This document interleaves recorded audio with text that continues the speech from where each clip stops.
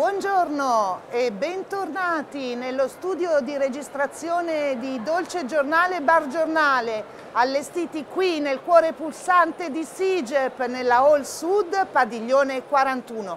Continuiamo con le nostre interviste che ormai state vedendo in streaming sui nostri canali, ancora con dei grandi protagonisti. Con noi Pierluigi Demin, direttore vendite di Brimes e due grandissimi campioni del mondo, Gino Fabbri della pasticceria Gino Fabbri di Bologna e Marco Pedron, neo direttore di Congusto Gourmet Institute. Perché ho voluto con me questi personaggi? Perché oggi parliamo di Panettone Day, Oggi è il giorno in cui iniziano le preiscrizioni al concorso più longevo d'Italia. Ne parlo subito con Pierluigi De Min. Concorso più longevo d'Italia, 11 anni. Che cosa vuol dire? Longevo non vuole dire vecchio sicuramente, perché eh, da 11 anni organizziamo questo evento. Ehm, e quale migliore occasione di essere qui al SIGEP in, questa, in questo momento di, di, ritorno alla normalità dove la frequentazione del, di questa fiera storica eh, sta vedendo moltissima gente. Quale migliore occasione quindi di mettere intorno a noi, di comunicare a tutti che anche nel 2023 eh, ci sarà la nuova edizione tu parlavi di longevo. Longevo dal punto di vista positivo perché è un'esperienza che da 11 anni noi eh, organizziamo, è un evento che da 11 anni organizziamo con tutti i nostri clienti che si vogliono mettere eh, in gioco per sfidarsi, per eh, preparare il miglior panettone che ormai è diventato eh, un'icona del nostro paese, il prodotto tipico del Natale milanese fino a qualche anno fa, ma ormai è un prodotto che viene fatto in tutta Italia, ma è diventato l'icona del, eh, della, della pasticceria Italia nel, nel mondo. Quindi da 11 anni noi organizziamo questo momento nella quale eh, organizziamo una eh, produzione e una eh, selezione dei migliori panettoni che vengono fatti dai nostri clienti. Eh, questo è un momento che poi porta a settembre a una finale che viene fatta anche quest'anno in una prestigiosa eh, eh luogo che è Cracco Milano Galleria. E eh no, fai lo spoiler. Ah, lo volevi dire tu? Eh sì, mi hanno detto che potevo, non potevo dire. Arrivi tu e me lo, eh, lo racconti ah, a tutti. Allora non, lo lascio raccontare a te dopo. Va bene, no, no, te lo permetto. No, è un momento eh, sicuramente importante quello della selezione e per questa selezione chiaramente noi abbiamo scelto dei selezionatori eh, prestigiosi dei selezionatori che conoscono questo mondo molto bene, che sono eh, vicino a me, che sono il maestro Gino Fabbri e Marco Pedron, che poi magari tu ehm, eh, introdurrai meglio. Ma ecco, quello che volevo dire, perché bisogna partecipare a questo concorso da parte dei pasticceri?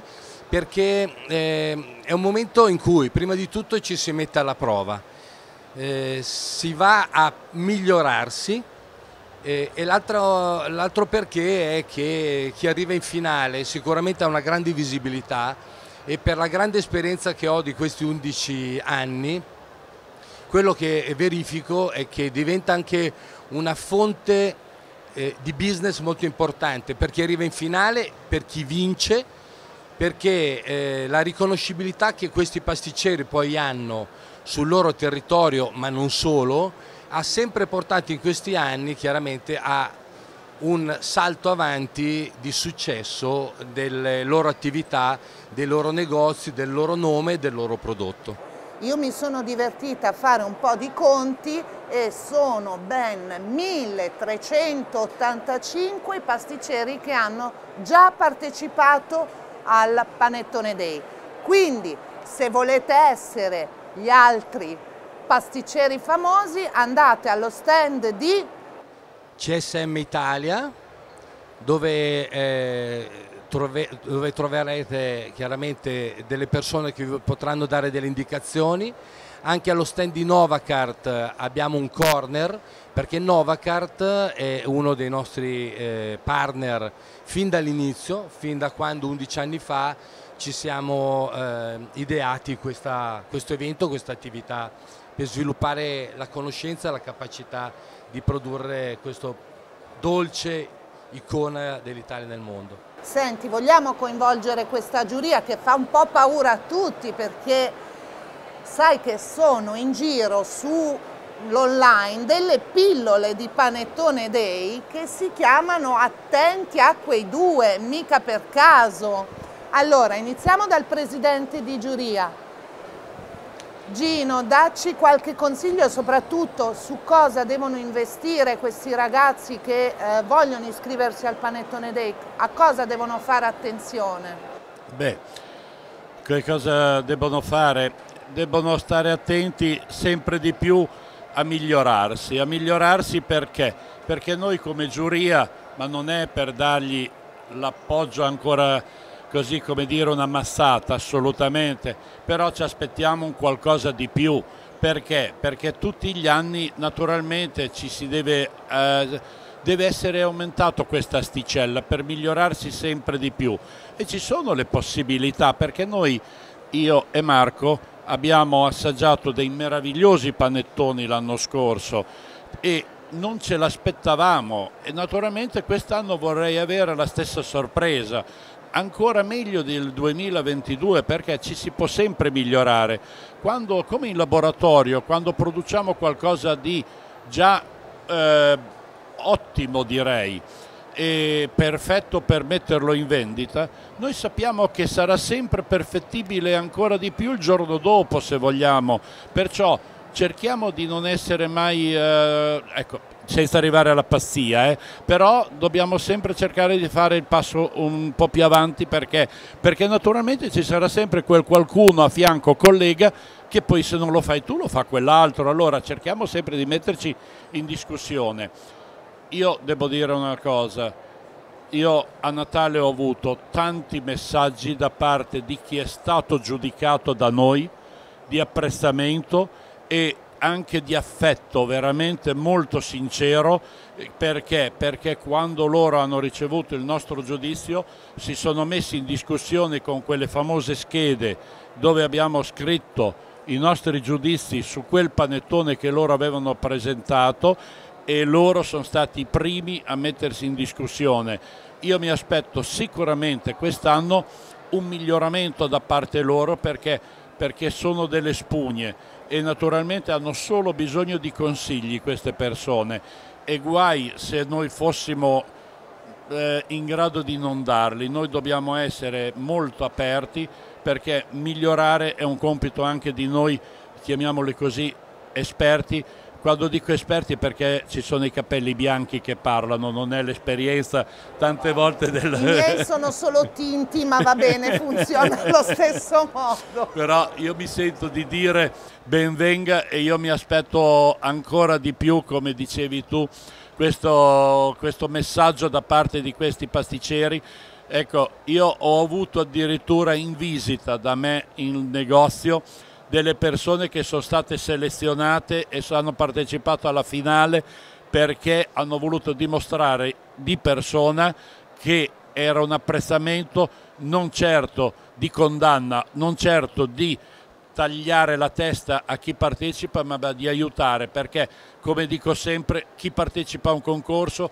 è uno che ha già vinto perché partecipare per mettersi in confronto con gli altri è già un vincitore di partenza perciò, perciò ne, non perde mai nessuno chi partecipa a questo concorso e questo mi sento di dire e di lasciare la, la parola al mio collega Marco che stimo da una vita e continuerò a stimarlo sempre perché è un grande professionista. Grazie Gino, grazie maestro, passa pure il microfono a Marco. Eh, continuiamo allora con i consigli da parte di, della giuria. Io chiederei a Marco quali sono i parametri su cui fare particolarmente attenzione? Ovviamente il gusto, ma dici tu Marco. Allora, ehm, sicuramente per quanto riguarda il discorso eh, del panettone tradizionale, non voglio dire che non ci siano segreti, anzi, però c'è un tipo di cura, un lavoro, un equilibrio. Vorrei portare un attimino l'attenzione invece sul mondo del panettone creativo. Sì. Che ehm, l'anno scorso, eh, come l'anno prima, c'è stato un grande divario tra chi veramente aveva interpretato il concetto di creatività e chi probabilmente non, non è che non l'avesse interpretato, ma ehm, come dire, non aveva quel tipo di, ehm, di concezione con se stesso. Significa, la creatività è l'arte, diciamo, è l'espressione del pensiero più profondo nella maniera più semplice. Quindi se prendono, eh, il mio consiglio è se prendete delle strade creative cercate sempre di mettere il piede a terra, cercate sempre di fare un qualcosa che sia inequivocabilmente buono. E a volte la creatività basta solo spostare il punto di vista anche di mezzo millimetro, quindi è importante che anche la parte creativa non sia offuscata solo da quello che è il panettone tradizionale che chiaramente fa da contenitore e da padrone, però anche la creatività non basta a volte solo mettere sopra un qualcosa di colorato o qualcosa di colorato all'interno, ma che sia in linea con quello che è una cosa che deve essere inequivocabilmente buona. Quindi fatelo, fate tante prove, fatele assaggiare a tutti non necessariamente a chi vi vuole compiacere, ma magari anche proprio a chi ha voglia di trovarvi il pelo nell'uovo.